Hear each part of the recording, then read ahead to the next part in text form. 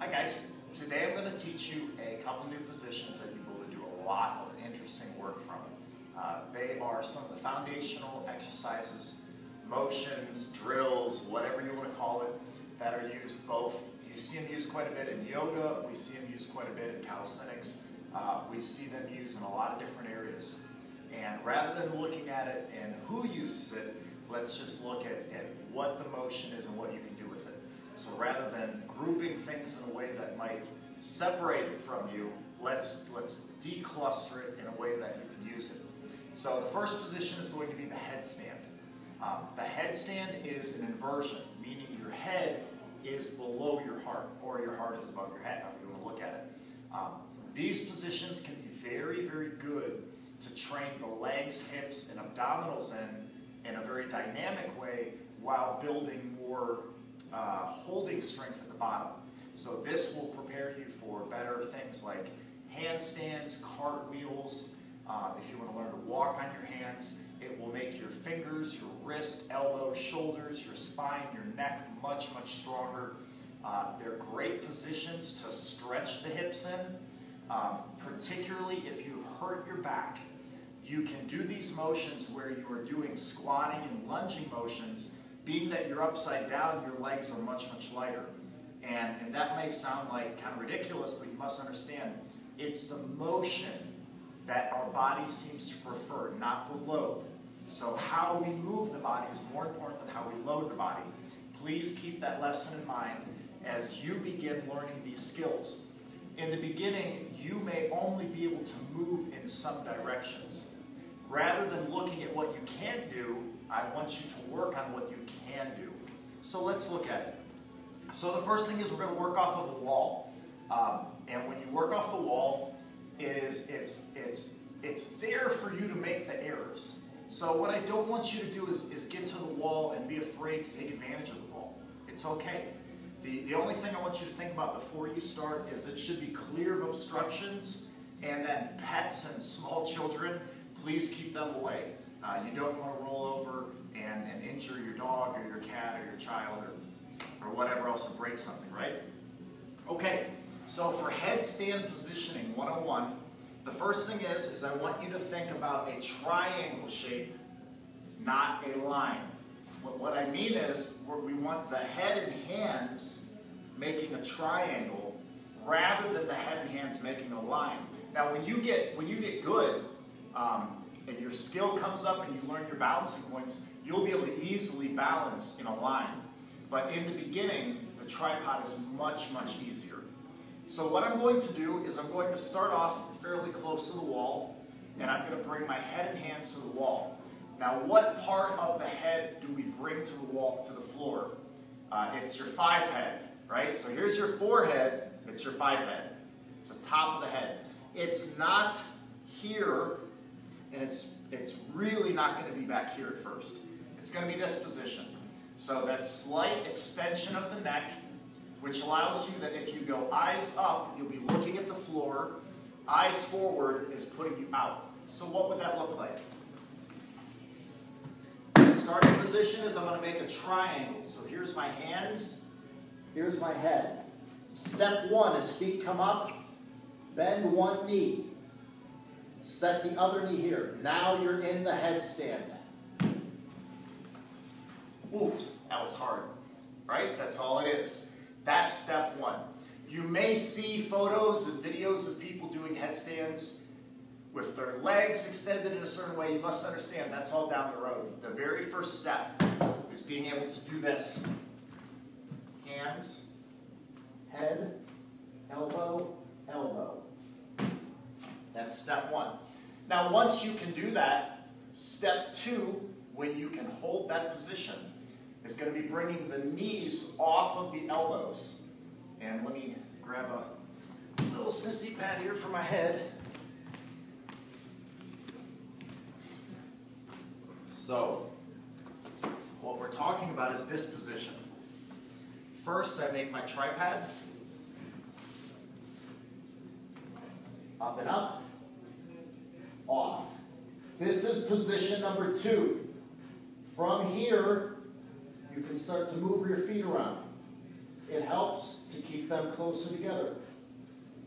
Now in the beginning, your objective is to be in that position. Any degree of that position is good to go. It doesn't have to be uh, any particular alignment for it to count. So your first drill is going to be getting into that position and then just seeing what you can move around. I would like you to transition rather than hold. What does this mean? Let's say you're first working on your tripod. Here would be a way we could work on that. So the first thing is, is I don't have to start from here. If I wanted to make it a bit more dynamic practice, I could do something where I start, squat down, hands to the floor, head to the floor, feet wide, up, here. That's one rep.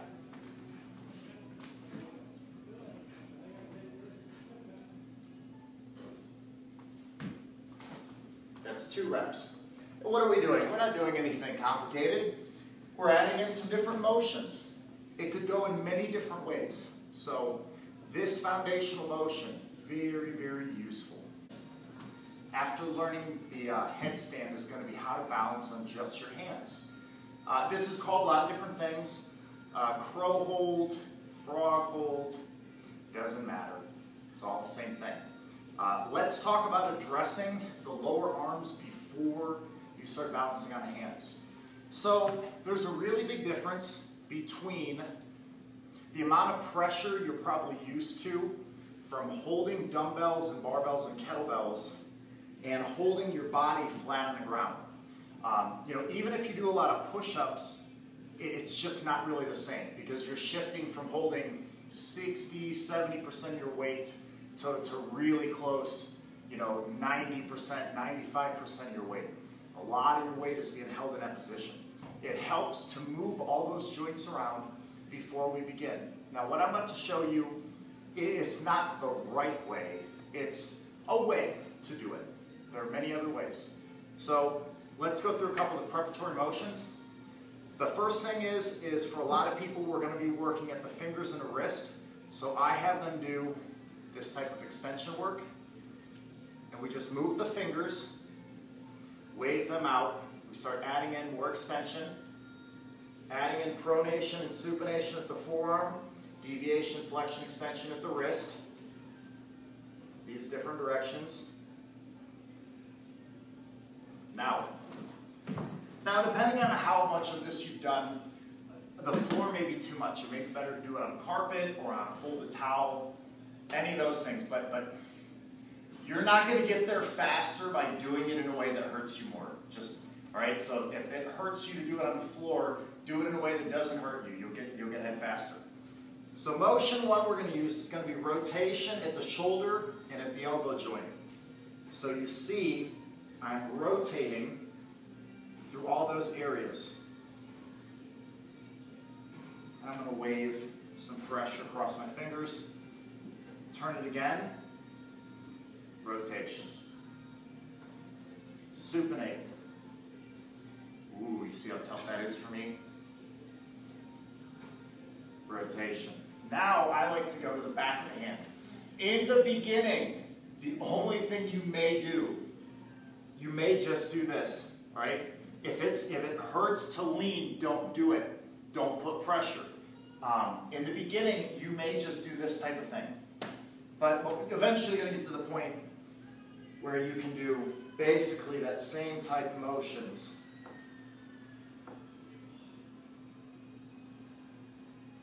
This one's a lot tougher for me. My body feels stupid in this position at times. And same thing, I'm going to roll them around. So this starts to get the wrist prepared. So try this out. So, when we're going to balance, a couple of things. Number one, all the pressure can't just be here, and all the pressure definitely can't just be here.